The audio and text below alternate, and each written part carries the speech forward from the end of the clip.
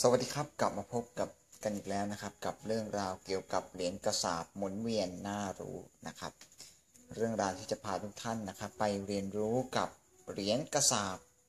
นะครับของไทยนะครับต่างๆ ไม่ว่าจะชนิดราคาเท่าไหร่ก็ตามนะครับ ในวันนี้ผมมีเหรียญกระสาบนะครับเป็นเหรียญกระสาบราคา 1 บาทนะครับ ปีพุทธศักราช 520 นะครับ ซึ่งด้านหลังจะเป็น ด้านหลังจะเป็นรูปในด้านหลังจะเป็นรูปหัวเรือหัวเรือนะครับ สุพรรณหงษ์นะครับ คือเหรียญนี้นี่เอง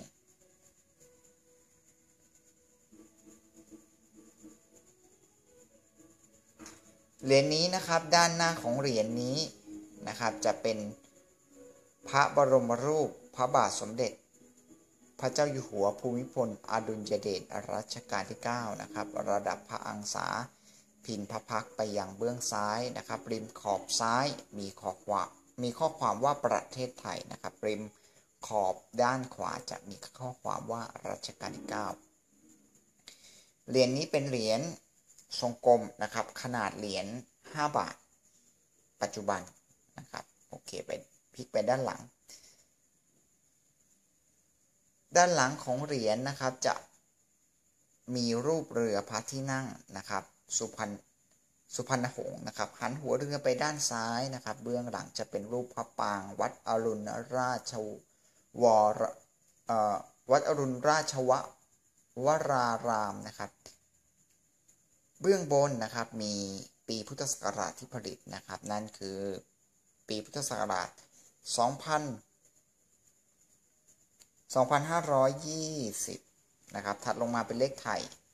บอกชนิดราคา 1 บาท เหรียญนนี้นะครับจะผสมระหว่างนิกเกิล 25%และทองแดงประมาณ 75%นะครับ ถือเป็นเหรียญหมุนเวียน หนึ่งในเหรียญหมุนเวียนที่ หลายท่านน่าจะมีกันนะครับ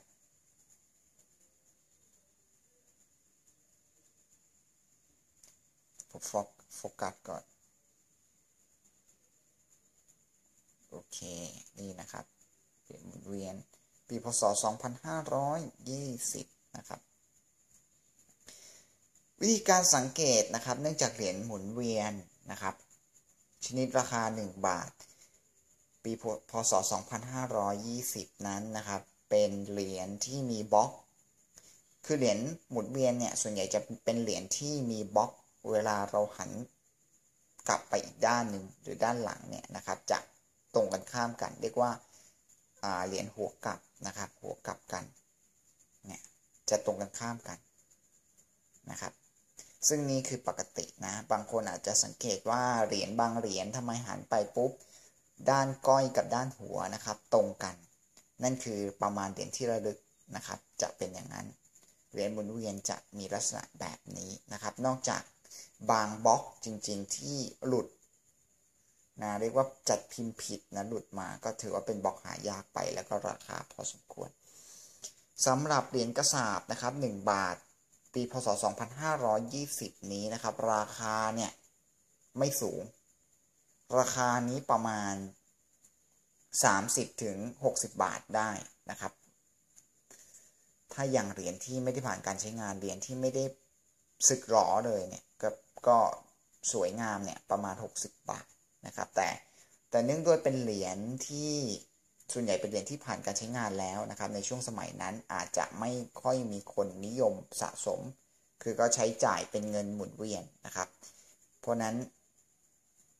เหรียญอาจจะไม่ได้ใหม่นะแต่ก็มีนะน่าจะมีเหรียญใหม่ ๆ อยู่นะครับสาเหตุที่เหรียญไม่ได้ราคาแพงทางทางที่ปีพุทธศักราชที่ผลิตขึ้นหรือพุทธศักราชที่ใช้เนี่ยเป็นปีที่เก่ามาก หรือเป็นปีที่ต้องตั้งแต่พศ20เนี่ยมันนานมากเลยทำไมถึงราคาไม่แพงเหมือนกับเหรียญอื่น ๆนะครับ ที่ราคานักสะสมแพงกันจัง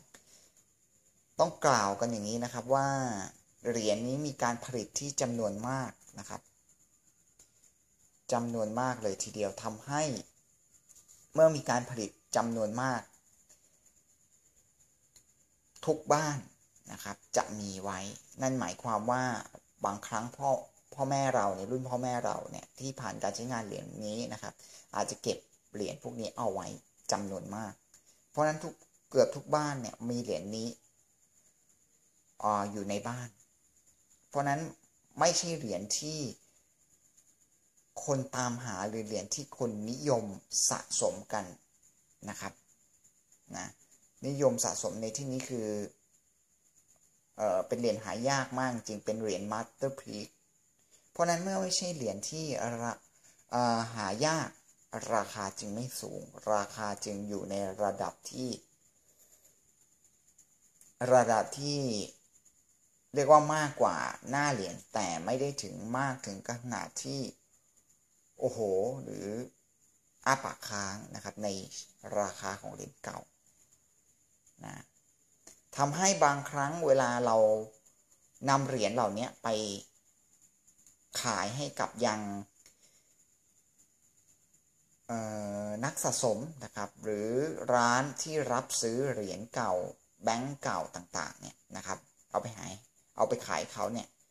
บางทีเขาไม่รับนะเขาอาจจะบอกว่าหมดโคต้าสำหรับเหรียญพอสอนนี้เหรียญนี้แล้วนะครับ บางทีเขาไม่รับจริงๆนะเนื่องจากเขามีจำนวนมากแล้วเขารับมาจำนวนมากแล้วนะครับ เพราะนั้น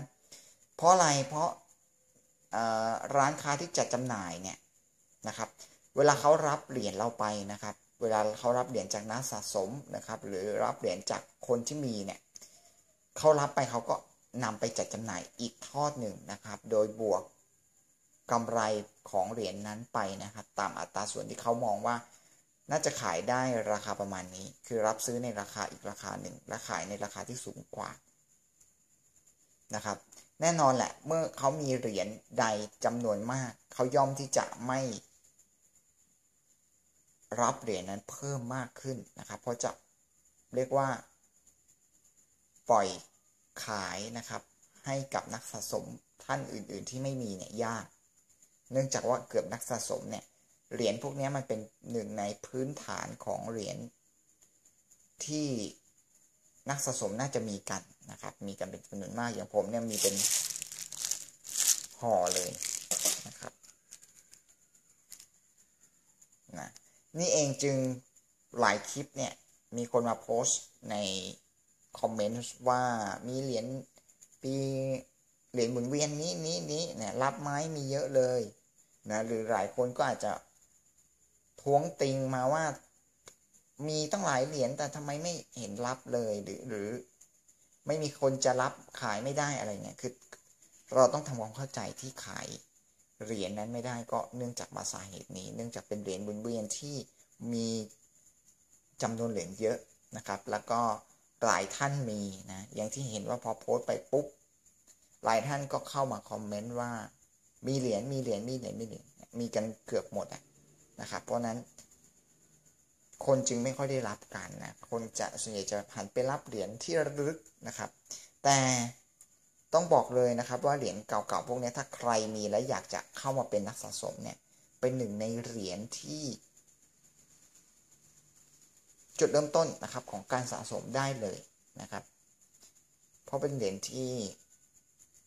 มีเยอะนะเพราะนั้นและราคาในการจัดจำหน่ายเนี่ยถือว่าถูกนะถูก เพราะนั้นก็เริ่มจากเริ่มเริ่มเก็บนะครับสำหรับนักสะสมก็เริ่มเก็บจากเหรียญเหล่านี้แหละนะครับเหรียญเหล่านี้แหละนะเพื่อที่จะได้เก็บเอาไว้ นะครับ โอเคสำหรับทั้งหมดนี้นี่ก็คือเรื่องราวนะครับ เกี่ยวกับเหรียญกระสาบนะบางทีผมอาจจะพูดอาจจะบ่นอาจจะอะไรไปเรื่อยๆบ้างนะครับ ก็นะอย่าเพิ่งเบื่อกัน ใครมีนะครับเหรียญกระสาบเรานี้หรือเหรียญแปลกๆกว่านี้นะครับ ก็สามารถแลกเปลี่ยนกันได้คือเราผมไม่ได้รู้ในทุกเรื่องนะครับ ไม่ได้รู้ในเรื่องราวเหรียญกระสาบในทุก เรื่องทุกเวอร์ชันนะครับ แต่ผมรักที่จะแลกเปลี่ยนนะครับ ความคิดเห็นระหว่างกันนะครับ ใครมีความคิดเห็นยังไง หรือข้อมูลคุณมันน้อยไปมีมีข้อมูลเพิ่มเสริมมาก็ยินดีนะครับ ยินดีเลย ส่วนใครจะแลกเปลี่ยนเหรียญคือแลกเปลี่ยนภาพนะผ่านทางเหรียญก็สามารถเข้าไปที่ Bank Talk นะครับ Facebook Bank Talk ได้เลยนะครับ ส่วนเว็บไซต์เดี๋ยวกำลังจะ ดำเนินการจัดสร้างนะครับเป็นเว็บไซต์ที่รวบรวมข้อมูลเหล่านี้แหละนะครับ ให้ง่ายยิ่งขึ้นนะโอเค